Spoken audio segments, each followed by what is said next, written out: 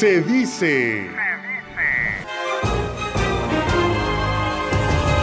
Que Taurino Ramírez Labra, director de Educación Normal de la Secretaría de Educación Pública de Hidalgo, sigue restando puntos, pues se siente amo y señor de todas las prestaciones que por ley le corresponden a los trabajadores de normales. Junto a su séquito decide a quién autorizar pagos de antigüedad, al igual que conceptos como fin de año, lo que violenta los derechos humanos y laborales de sus subordinados. Y todo por un capricho y querer seguir en el poder. Ramírez Labra cuenta con el apoyo de su yerno Neftalí Arena al que ubicó en recursos humanos para triangular estas acciones que denigran al magisterio hidalguense. Busca las noticias más importantes en criteriohidalgo.com y síguenos en nuestras redes sociales.